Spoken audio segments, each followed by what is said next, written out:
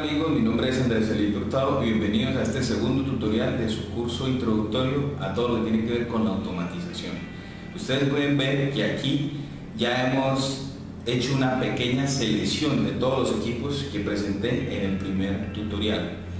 Eh, estos equipos son los que empiezo a recomendar precisamente para que podamos tener eh, nuestros comienzos en todo lo que es la automatización y que muchas de las tareas asociadas a las labores cotidianas en nuestro hogar, en nuestra oficina, en nuestro trabajo, podamos, eh, pues, podamos realizarla ya empleando cualquiera de estas tecnologías. He hecho una pequeña selección donde tengo dos equipos, como tal, los que tenemos aquí, y donde tenemos otros dos equipos como por grupos. Un grupo de equipos aquí y otro grupo de equipos acá. Expliquemos rápidamente ¿Cuál de estos son los que vamos a comenzar a utilizar? Ventajas y desventajas. Aquí tenemos ubicados en la parte baja baja de la, de la arquitectura y hardware que tienen los fabricantes en cuanto a la automatización, los famosos relés programables o relés inteligentes. Son equipos pequeños, compactos, con un display y con una cantidad de borneras en la parte superior y en la parte inferior. Este sería un grupo importante de equipos. Y acá tenemos Y acá tenemos otro grupo de equipos bastante diferente por su case, es decir, su carcasa y su forma de diseño con respecto a, con respecto a los relés inteligentes que son los programadores semanales.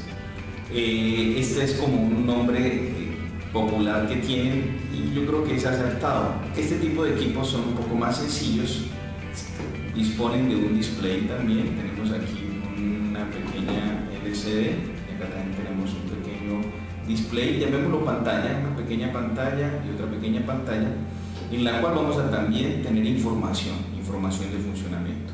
Este otro grupo son conocidos como los programadores semanales. Tienen diferencias, evidentemente. ¿Y qué vamos a hacer en este tutorial? Vamos a comenzar precisamente con los programadores semanales. Retiremos los relés inteligentes y comenzamos con los programadores semanales. Vamos a hablar concretamente qué podemos hacer con este tipo de dispositivos. Lo que podemos lograr es tener una programación, su nombre lo indica, día a día, es decir, podría tener de lunes a viernes una programación en la que yo indico en qué momento se va a encender y en qué momento se va a apagar. ¿Qué se va a encender o qué se va a apagar? Lo que yo quiera controlar.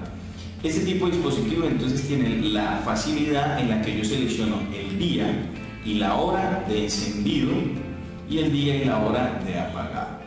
¿De, ¿De qué concretamente? Bueno, lo que yo quiera controlar. Por ejemplo, podría colocar aquí para controlar eh, una iluminación, las luces de la casa, un sistema de riego, un sistema de, de bombeo para poder llenar un tanque de almacenamiento, en fin. Supongamos que queremos hacer una programación para que la luz de nuestra casa ahorita que están llegando las vacaciones, si nos vamos de viaje, puedan encenderse siempre a una hora y luego apagarse cuando hayamos eh, programado el dispositivo para que se realice la tarea, con fines tal vez de generar un momento de seguridad, de que se entiende que pueden haber personas allí, así yo esté desarrollando o viajando, así no esté en mi casa. Entonces este tipo de equipos tienen esa función, yo puedo decirle que se prenda de lunes a viernes a las seis y media de la tarde que se prenda la luz de eh, enfrente de mi casa. Y que se apague de lunes a viernes podríamos decir que se apague a las mmm, coloquemos una hora a las once y media de la noche. Esa podría ser una programación miren que tenemos entonces dos que diferentes. Aquí tenemos un acceso por medio de borneras así le llamamos. Borneras simplemente son tornillos en los cuales yo voy a hacer la conexión de los cables, de lo que voy a gobernar y evidentemente también debo tener la conexión de la energía para que toda la electrónica que hay aquí pueda trabajar. Normalmente estos dispositivos funcionan a 110 voltios. Bueno, y acá tenemos otro caso bastante diferente porque observen, este también es un programador semanal, tiene la pantalla, los botones de acceso para hacer la respectiva programación en los días de la semana, pero algo bien distinto es que posee una clavija. Es decir, que este dispositivo yo lo voy a conectar directamente a la energía y ahí se va a tomar pues la electrónica pues, la energía necesaria para poder trabajar y aquí es donde yo voy a conectar la carga que deseo controlar. ¿Cuál carga? Repito, podría ser, eh, podría ser desde un ventilador, bueno, ejemplo, podría ser un bombillo, un ventilador pequeño para el cual vamos a trabajar ciertas actividades, una electroválvula para poder eh, encender el sistema de riego. Bueno, hay muchas posibilidades, pero aquí tenemos una clavija convencional. Entonces, ¿la diferencia cuál es? La diferencia es que tenemos eh, directamente ya la clavija incrustada en el dispositivo, no tendríamos que hacer ninguna conexión de cables, simplemente se conectarían directamente al toma corriente y ya comienza a funcionar.